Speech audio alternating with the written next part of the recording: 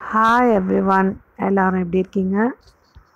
This is Million Flavours and welcome back to my channel இன்றைக்கி நம்ம ரொம்ப ரொம்ப ஈஸியான ஒரு ரெசிபி பார்க்க போகிறோம் பசங்களுக்கு ரொம்ப பிடிச்ச கடலை உருண்டை. இது நம்ம வீட்டிலே எப்படி செய்யலான்னு பார்க்கலாம். அரை கிலோ நிலக்கடலை நான் வாங்கியிருக்கேன். இதை வந்து நம்ம ஒரு கடாயில் சால்ட் உப்பு போட்டு நம்ம நல்லா வறுத்து எடுத்துக்க போகிறோம் நம்ம இப்படி உப்பில் போட்டு வறுக்கிறதுனால நம்ம கடலை நல்லா மொறு மொறுன்னு கருகாமல் வறுத்தெடுக்கலாம். சிலர் மணலையும் போட்டு வறுப்பாங்க. அந்த மாதிரியும் செய்யலாம். மணல் கிடைக்காதப்போ இந்த மாதிரி சால்ட்டுலேயும் நம்ம இந்த மாதிரி நல்லா வறுத்தெடுத்துக்கலாம். சிம்லேயே வச்சு வறுத்தெடுங்க. பாருங்கள் இந்த மாதிரி தோல் தனியாக நமக்கு வரணும்.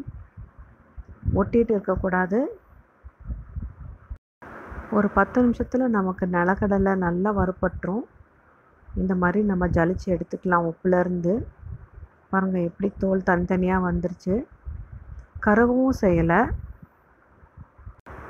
இது நம்ம வந்து ஒரு பிளேட்டில் போட்டு நல்லா ஆற வச்சுக்க போகிறோம் ஆறுனதுக்கப்புறமா தோலை வந்து கையிலேயும் நீங்கள் ரெண்டு கையும் வச்சு நல்லா ரப் பண்ணாலே போதும். தோல் தனியாக வந்துடும் நீங்கள் கடையில் கூட வறுத்த நிலக்கடலையாக கூட வாங்கிக்கலாம். ஆனால் இன்றைக்கி நான் நல்லா வறுத்து நானே ரெடி பண்ணிக்கிட்டேன். பாருங்கள் இப்போ நம்ம ஆற வைக்கிறோம். ஆறுனதுக்கப்புறமா தோலை நீக்கிட்டு நம்ம ஒரு மிக்சி ஜாரில் ரெண்டு கப்பு எடுத்திருக்கேன். உங்களுக்கு அளவுக்காக சொல்கிறேன் ரெண்டு கப்பு எடுத்திருக்கேன் பாருங்கள் இது நம்ம வந்து கொர கொரப்பாக அடைச்சி அரைச்சி எடுத்துக்கணும். இந்த அளவுக்கு. கொர கொரப்பாக இருக்கணும். ரொம்ப நைஸாகவும் இருக்கக்கூடாது. இப்போ இதை நம்ம ஒரு பவுலில் மாற்றிக்கலாம் இந்த அளவுக்கு கொர கொரப்பாக ஆட்டி எடுத்துக்கோங்க. இதுக்கப்புறமா நம்ம வெல்லத்தை அளந்து எடுத்துக்கலாம். இப்போ ரெண்டு கப்பு நிலக்கடலைக்கு ஒன்றரை கப் வெல்லம் எடுத்திருக்கேன். அதே மிக்சர் ஜாரில் இதையும் நம்ம வந்து கொர கொரன்னு அரைச்சி எடுத்துக்க போகிறோம் பல்ஸ் மோடில் வச்சு எடுத்துக்கோங்க.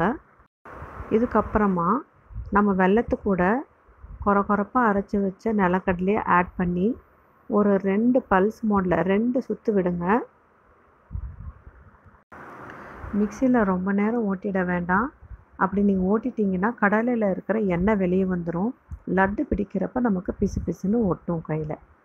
இந்த மா இந்த அளவுக்கு பதமாக நம்ம எடுத்துக்கலாம். இது கூட நம்ம ரெண்டு டேபிள் ஸ்பூன் நெய் ஆட் பண்ணிக்கலாம்.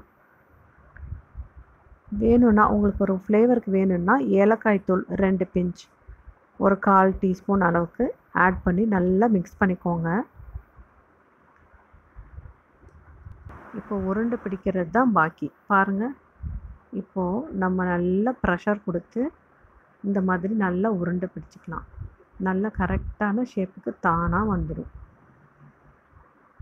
இந்த ரெசிப் செய்கிறதுக்கு ரொம்ப முக்கியமான டிப் என்னென்னா நம்ம மிக்சி ஓட்டுறதுல தான் இருக்குது ரொம்ப நீங்கள் மையாக அரைச்சிட்டிங்கன்னா அது கடலை மிட்டாய் மாதிரி ஆகிடும் பாருங்கள் நம்ம கடலை உருண்டை ரெடி இப்போது நான் எடுத்த ரெண்டு நிலக்கடலை கப்புக்கு முப்பது உருண்டைகள் கிடச்சிது. ரொம்ப ரொம்ப ஈஸி பசங்களுக்கு டக்குன்னு ஒரு டுவெண்ட்டி மினிட்ஸில் செஞ்சு கொடுத்துடலாம். இந்த கடலை உருண்டை நம்ம பசங்களுக்கு ரொம்ப ரொம்ப நல்லது. முக்கியமாக வளர்கிற குழந்தைங்களுக்கு. ரொம்ப ஹெல்த்தியான ப்ரோட்டீன் அண்ட் அயன் இதில் நிறையவே இருக்குது கண்டிப்பாக ட்ரை பண்ணுங்கள் என்னோடய குழந்தைங்களுக்கு இதை ஸ்நாக்ஸ் பாக்ஸில் தினமும் ரெண்டு உருண்டை கொடுத்து விட்ருவேன் உங்களுக்கு இந்த ரெசிபி ரொம்ப பிடிச்சிருந்ததுன்னா நம்ம சேனலை சப்ஸ்கிரைப் பண்ணிக்கோங்க. லைக் பண்ணுங்கள் ஷேர் பண்ணுங்கள் தேங்க்யூ